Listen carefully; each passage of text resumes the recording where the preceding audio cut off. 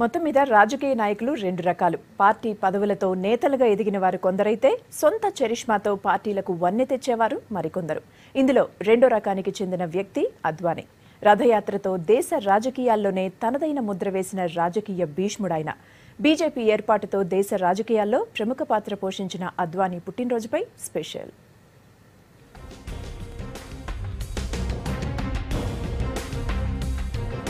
లాల్ కృష్ణ అద్వానీ ఈ పేరులోనే పవర్ ఉంది ఉక్కు మనిషిగా దేశ రాజకీయాల్లో తనదైన ముద్ర వేసిన నేత దూకుడు నిర్ణయాలతో బీజేపీకి దేశవ్యాప్తంగా గుర్తింపు తెచ్చిన నాయకుడు రథయాత్రతో దేశ రాజకీయాలను మలుపు తిప్పిన నేత సుదీర్ఘ అనుభవంతో రాజకీయ భీష్ముడిగా పేరు సంపాదించారు.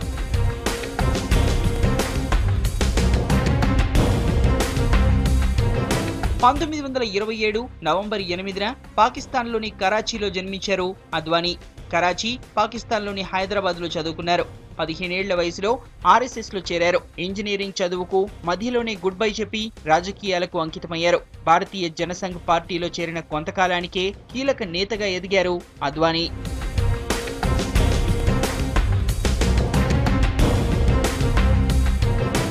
పంతొమ్మిది వందల అరవై ఏడులో ఢిల్లీ మున్సిపల్ కార్పొరేషన్ అధ్యక్షుడిగా ఎన్నికయ్యారు.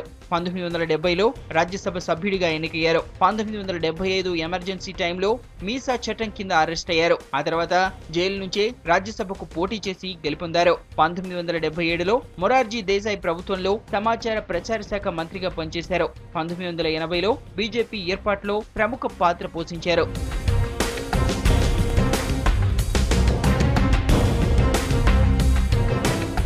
పంతొమ్మిది వందల ఎనభై ఆరు నుంచి పంతొమ్మిది వందల తొంభై ఒకటి వరకు రెండుసార్లు పార్టీ అధ్యక్షుడిగా పనిచేశారు అద్వానీ. పార్టీని రెండు ఎంపీ స్థానాల నుంచి ఎనభై ఆరుకు పెంచగలిగారు. పంతొమ్మిది వందల తొంభై సెప్టెంబర్ ఇరవై ఐదున ప్రారంభించిన అయోధ్య రథయాత్రతో అందరినీ ఆకర్షించారు. పదివేల కిలోమీటర్లు పర్యటించి పార్టీని అధికారంలోకి వచ్చేలా చేశారు. పంతొమ్మిది వందల తొంభై రెండు డిసెంబర్ ఆరున అయోధ్యలో జరిగిన కరసేవ ఘటనలో అరెస్ట్ అయ్యారు.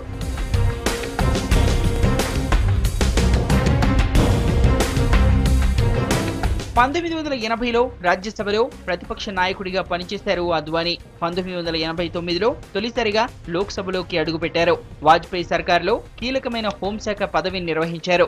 పంతొమ్మిది వందల తొంభై ఏడులో ఉప ప్రధాని బాధ్యతలు చేపట్టారు. రెండు వేల తొమ్మిది ఎన్నికలకు ముందు అద్వానీని ప్రధాని అభ్యర్థిగా ప్రకటించింది బీజేపీ.